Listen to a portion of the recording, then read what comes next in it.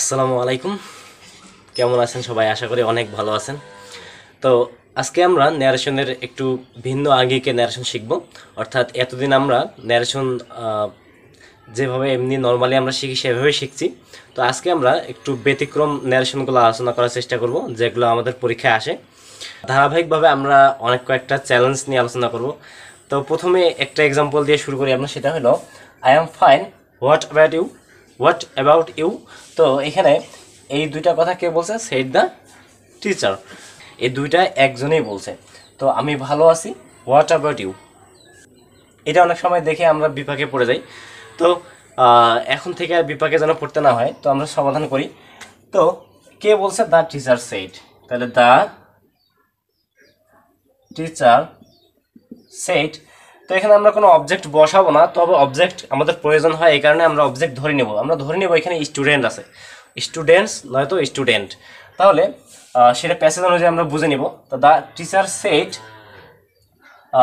that I am fine তো এখানে I first person সাবজেক্টকে ফলো করে সাবজেক্ট টিচার তাহলে হি ওয়াজ ফাইন তো এখন এখানে আরও একটা কথা আছে। হোয়াট অ্যাবাউট ইউ তাহলে এই কথাটাও যেহেতু উনিয়ে বলছে দ্য টিচারেই বলছে, তো এটার মিনিংটা আসলে কি? যে হোয়াট অ্যাবাউট ইউ মানে আসলে এর আগের বাক্যটার উপর ডিপেন্ড করে এই বাক্যটার মিনিং কি? তো উপরের বাক্য যদি থাকতো যে I am twenty three years old তখন এই নিচের বাক্যটার মানে হলো তোমার বয়স কত? আমার বয়স তেইশ বছর, তোমার বয়স কত? উপরের বাক্যটা আছে আই এম ফাইন আমি ভালো আছি। তো তখন এই হোয়াট অ্যাবাউট ইউ নিচের বাক্যটার মিনিং হলো, তুমি কেমন আছো? তো উপরের বাক্যটার উপর সবসময় ডিপেন্ড করতেছে যে, এই হোয়াট অ্যাবাউট ইউ এইটা দ্বারা কি জানা হচ্ছে বা কি জানতে চাওয়া হচ্ছে। তাহলে the teacher said that he was fine এখন এইটা যেহেতু আরেকটা প্রশ্ন, তাহলে এখানে আমরা কি লিখতে পারি? অ্যান্ড অলসো আস্ট এবং আরও জিজ্ঞেস করছে যে যদি আমরা এখানে স্টুডেন্টস ধরে নিই, ছাত্রছাত্রীরা ছাত্রছাত্রীরা ধরে নিই, তাহলে and asked how they were তাহলে এটার মিনিং কি হচ্ছে? যে এবং অবশ্য আরও জিজ্ঞেস করছে যে তারা কেমন আছে।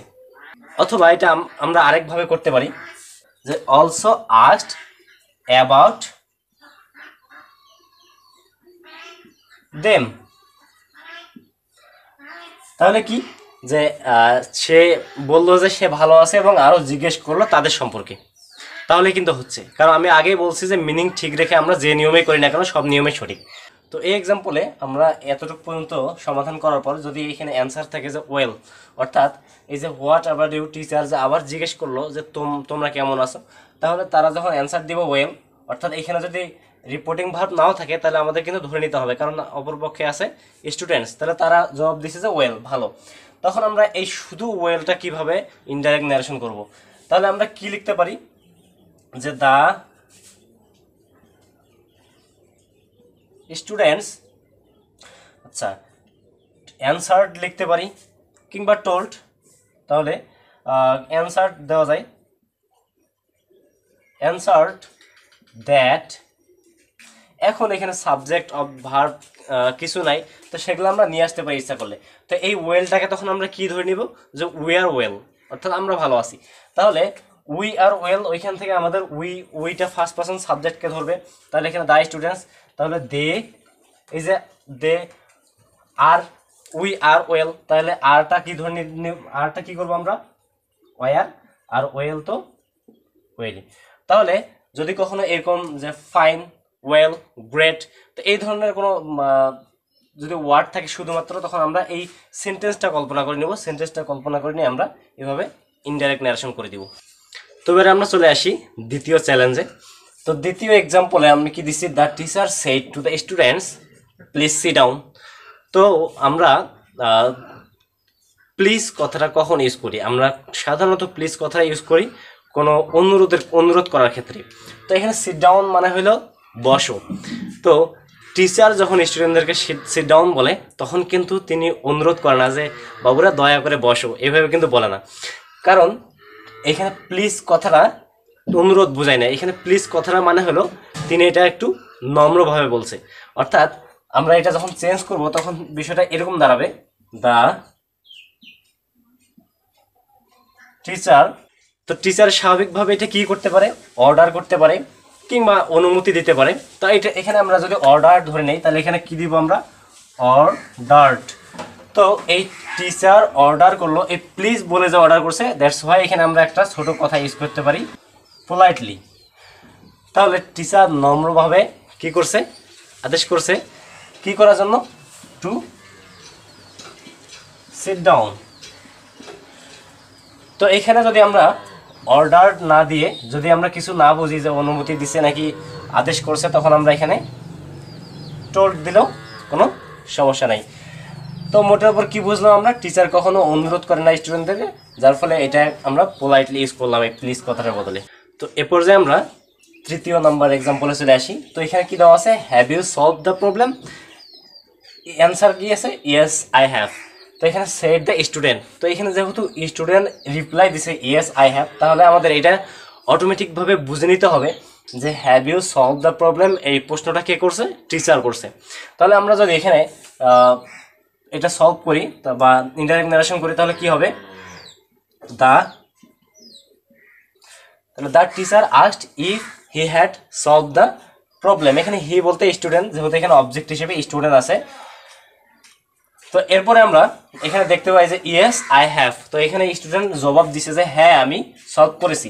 তাহলে এখানে এখানে আই হ্যাভ শুধু আছে, কিন্তু এখানে কিছু আই হ্যাভ এর পরে কোনো ভার্ব বা সেন্টেন্সের বাকি অংশটা দেওয়া নাই। তো এটাই হলো আমাদের জন্য চ্যালেঞ্জ তাহলে এখানে দা, যেহেতু আরও বলছে কিছু, তাহলে অ্যান্ড সাইড দ্যাট তাহলে এই আই এর বদলে এখানে ফার্স্ট পার্সন যেহেতু সেহেতু সাবজেক্টকে ফলো করবে, তাহলে হি দ্য স্টুডেন্ট হি তাহলে হি হ্যাট থেকে এখানে হ্যাট তাহলে হি হ্যাট তো এইটুক দিয়ে কি আমরা থেমে থাকব?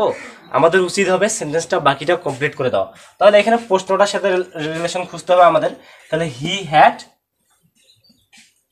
solve the problem তাহলে এই যে সলভড দ্য প্রবলেম এই কথাটা আমাদের আগের প্রশ্ন থেকে নিয়ে আসতে হলো তো যদি আমরা এটা করি, তাহলে আমরা টিচার অবশ্যই বুঝবে যে আমরা বেশি অ্যাপ্রোপ্রিয়েট করতে পারছি বিষয়টা। No I haven't prepared my lesson তারপরে কি আছে? Why said the teacher why মানে কি আমরা জানি যে হোয়াই মানে কেন? তাহলে এই কেন প্রশ্নটা যেহেতু টিচার করল, তাহলে তার আগের সেন্টেন্সটা কে বলতে পারে? অবশ্যই স্টুডেন্ট তাহলে এইটা আমরা যখন চেঞ্জ করব, তখন আমরা এই উপরের সেন্টেন্সটা রিপোর্টিং ভার্বকে নিয়ে আসব? দা স্টুডেন্ট নেগেটিভ এটা আমরা নো এর বদলে লিখলাম and said that he, his listen. তাহলে আমরা এই প্রথম অংশটা ন্যারেশন করলাম।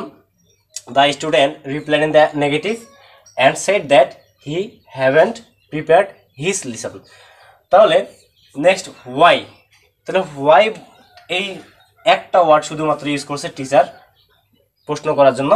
তাহলে এখানে আমরা কীভাবে করব? তাহলে দা টিচার তাহলে টিচার কি করছে? জিজ্ঞেস করছে। তাহলে এখানে আমরা কি লিখতে পারি? আস্ট তাহলে আস্ট যেহেতু প্রশ্ন করছে, তাহলে আস্ট হোয়াই এখন আমরা এইখানে কি ধরে নিব যে সে কেন করে নাই?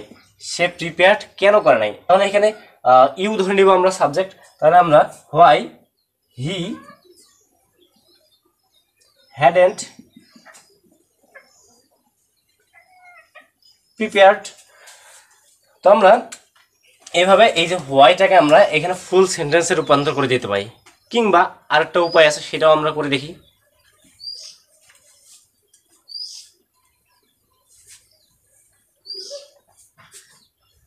তো উপায়টা কি? এখানে কারণ জানতে চাইছে, যে সে যে করে নাই, কেন কারণ জানতে চাইছে? তাহলে সেটা আমরা মিনিং করে দিই একটু। The teacher wanted to know the reason তো আমরা জানি রিজন মানে হলো কারণ। তাহলে টিচার হোয়াই মানে কি বলল? যে কেন? কেন করো নাই? তাহলে the teacher wanted to know the reason কিংবা নো অ্যাবাউট দ্য রিজন তাহলে আমরা এইভাবে করে দিতে পারি। অর্থাৎ আমি একটা কথা বারবার বলি যে আমরা মিনিং ঠিক রেখে আমরা যেভাবেই করি না কেন, সেটা আমাদের সঠিক। তো পর্যায়ক্রমে এবার আমরা আরেকটা এক্সাম্পলে আসি। যে he said to me what a lucky boy তাহলে এখানে এই যে হোয়াট আ লাকি বয় এখন কে লাকি বয় এখানে আশ্চর্য হয়ে কিন্তু সে বলছে। তো কাকে বলছে? মি, আমাকে বলেছে। তাহলে হোয়াট আ লাকি বয় এই কথাটা এইখানে কিন্তু একটা কিছু লুকায়িত আছে, অর্থাৎ সাবজেক্ট এবং ভার্ব তাহলে what a lucky boy you are তো এটা আমরা যখন চেঞ্জ করব, তখন কি হবে? হি এক্সক্লেমড কিংবা এক্সক্লেমড উইথ জয় এটাও আমরা ইউজ করতে পারি। তো he exclaimed with joy that এখানে ইউ আর যেহেতু আছে, তো আমাদের সেন্টেন্সটা অ্যাসাইটিভ করে দিতে হয়। তাহলে এখানে ইউ আর তাহলে ইউ সেকেন্ড পার্সন কাকে ফলো করে? অবজেক্টকে তাহলে অবজেক্ট মি তাহলে এখানে আই ইউ আর তাহলে এখানে প্রেজেন্ট টেন্স আছে। প্রেজেন্ট টেন্স তাহলে এখানে কি করব আমরা? I was a lucky boy তাহলে এখানে এই যে আই ওয়াজটা কিন্তু আমার আমাকে এখান থেকে খুঁজে নিতে হলো তো এইখানে এক্সক্লেমড উইথ জয় এর জায়গায় আমরা কি দিতে পারি? ওয়ান্ডার্ড ইউজ করতে পারি। তো এইভাবে আমরা এই যে এই সেন্টেন্সগুলোর দু একটা জিনিস মাঝে মাঝে আমাদেরকে খুঁজে নিতে হয়। তো এবার নেক্সট এক্সাম্পলে আমরা দেখি কি আছে। Brother I will not play তো এখানে ব্রাদারও থাকতে পারে কিংবা মম থাকতে পারে কিংবা ড্যাড থাকতে পারে। তো যেটা বলেই সম্বোধন করুন না কেন, আমরা এর আগে যখন শিখছিলাম, নিয়মটা কি ছিল? অ্যাড্রেসিং তো অ্যাড্রেসিং এখানে আমরা যদি এখানে দেখি হি সেট তাহলে অ্যাড্রেসিং কাকে অ্যাড্রেসিং করছে? তার ব্রাদারকে তাহলে অ্যাড্রেসিং হিম অ্যাস ব্রাদার কিংবা হিজ ব্রাদার তাহলে his brother he said that বাকিটা সিম্পলি যে নিয়মে করি আমরা, সেটা নিয়মেই আই সাবজেক্টকে ফলো করবে। সাবজেক্ট এখানে হি তাহলে হি উইল থেকে উড নট প্লে তো এটা অনেক সময় বিভিন্ন জায়গায় একটু অন্যভাবে করা থাকে। তো সেটাও আমরা একটু দেখে নিই যে এখানে ব্রাদার বলে ডাকছে যেহেতু, সেহেতু আমরা এখানে he said to his brother তাহলে he said to his brother that he would not play তাহলে এখানে এই যে হিজ ব্রাদার কথাটা দেওয়ার ফলে কিন্তু আমাদের এই অ্যাড্রেসিং বা কী বলে সম্বোধন করছে এটা কথা উল্লেখ করি নাই। তবে এখানে একটা কথা হলো যে, যেহেতু ভাই বলে ডাকছে, কিন্তু ভাই বলে ডাকছে কিনা এই সেন্টেন্সে কিন্তু ক্লিয়ার না। কারণ এই সেন্টেন্সে দেওয়া আছে যে, সে তার ভাইকে বলল। কিন্তু ভাই বলে ডাকছে কিনা ক্লিয়ার না, সেহেতু এই নিয়মে করা হলো আমাদের জন্য সবচেয়ে বেশি অ্যাপ্রোপ্রিয়েট তো সর্বোপরি আমি যেটা বলতে চাই যে আমরা সবসময় মিনিংয়ের উপর ডিপেন্ডেবল হব এবং মিনিং ঠিক রেখে যদি আমরা একটা সেন্টেন্স যেভাবেই করি না কেন টিচার সেখানে মার্ক দিতে বাধ্য থাকবে। তো ন্যারেশন এ পর্যন্তই। তো এরপরেও যদি কোনো সমস্যা থাকে, তো আমরা সলভ করব ইনশাল্লাহ এবং আমাকে যদি জানানো হয় তাহলে আমি সলভ করার চেষ্টা করব ইনশাল্লাহ সবাই ভালো থাকবেন, সুস্থ থাকবেন। আসসালামু আলাইকুম।